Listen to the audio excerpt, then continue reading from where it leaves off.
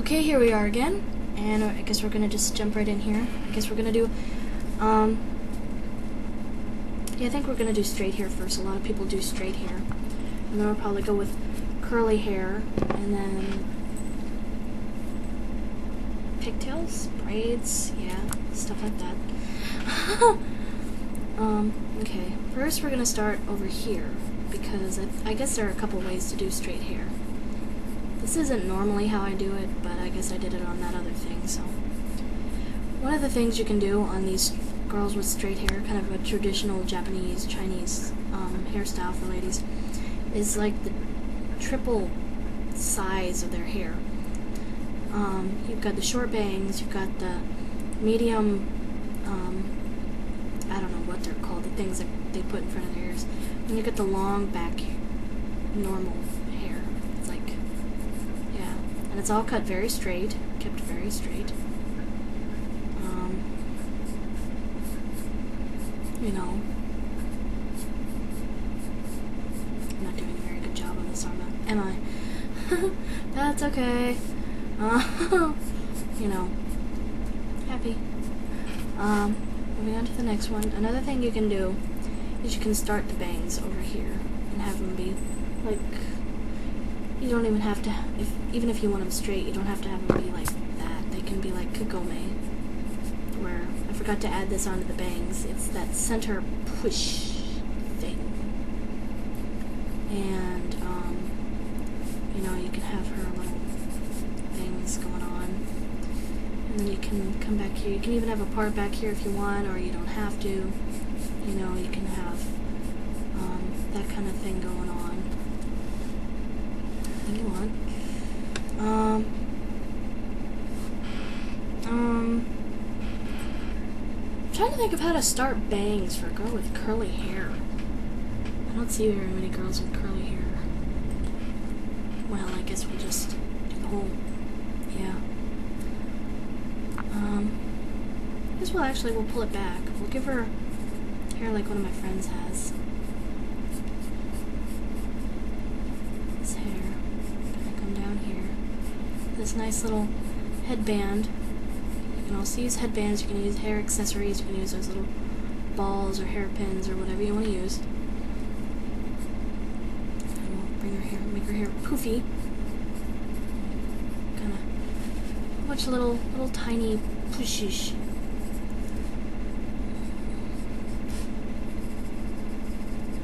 You can do curly hair a lot of different ways. You know, you can do it like I'm doing it, you know, you can do curly cues. You can actually draw out a lot of the things. You can actually go in there and literally, like, that's for like really detailed people. But I'm just more like, like, you know, I love the, the people who go in with the details and the curly cues and stuff. A word of advice don't make your main character something quite so hard to draw. Um, because you're going to be drawing this character so much and so many times. It's like you ask manga artists, and they're going to tell you straight up, you know, if you're going to put them in something really, really fancy, or give them really wild hair, or something like that, make it somebody that's not going to show up much, something that's only a one-time thing, or a story that's not going to happen that for that very long because you're going to have to do that over and over and over and over and over and over and over and over. And if you think that I'm exaggerating, try it. I dare you. try it. It's that fun. If you have, like, if you have a little cheats, like, you want to do a person in a plaid shirt, you just put plaid over it, and it doesn't matter that it doesn't follow the clothing line. That's a nice little cheat to have. A lot of people use that. Um, but if you're actually planning like an elegant dress or gown or a tuxedo with like little knobbies and pins and princely stuff everywhere, you know, if you're gonna do that, it's like keep it keep it short. Um, let's do one of these hairs that have the up thing in the middle. More bangs that I forgot to put on the actual bangs thing. Come over here we'll give this girl pigtails. So we'll come here and and it's okay sometimes if you come above the hairline, because I mean, if they got poofy, huge, wild hair, that's that's cool. It's kind of like green there. And if you need to, like, look in the mirror to see how your hair moves and how your hair does things. And, you know, give her, like, little scrunchies, whatever those things are, with the frills and the happies and the, you know. And, yeah. You got little hair that comes off because it's not, it's always a couple that aren't right size. And you can do like for these huge, huge curly cues of death, you know, some people will just, yeah, draw them in. Depending, I mean, you wouldn't, like I said, you wouldn't want to do it like every single time. Unless you want to like make it easier for yourself by coming up with a shortcut. But, um, you know, you don't want to do something that's too hard because when you're making manga for a living, you have deadlines and deadlines and deadlines, and it's ridiculous. And if you don't think that you have deadlines, you are wrong. um, deadlines and deadlines and deadlines, and if you don't get those deadlines done, people get angry, you get fired, you lose jobs, and yay, the real world.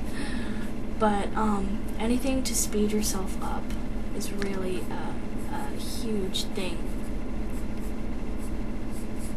And, you know, the further you can get before you actually get into something so you don't have to learn it all later. Yeah, I'm just crapping in the next one. Yay! okay. Anything you can do to just make it a little easier is, you know, yeah. Now, if somebody wants me to go back and bring a video and um, do a video of something like, like, yeah, that I just kind of crapped over lately, please do.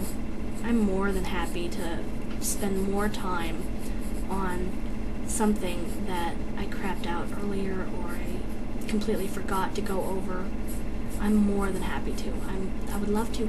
I really would. I'm running out of time. Okay, we're gonna come back here and we're gonna give her a braid. And braids are difficult, so I might have to run into the next video. Um, we're gonna give her a cute little bow. Happy. Um, now, first, we're going to, you know, see how long we want it. And, like, yeah. I'm gonna give her another little bow down here. And then we're gonna kind of do this cross thing, you know? And then we're kind of gonna erase it, and then we're gonna come in again. And we're going to start off here. And I'm horrible with braids, so... Um, but this part I'm gonna see. It's like folding in.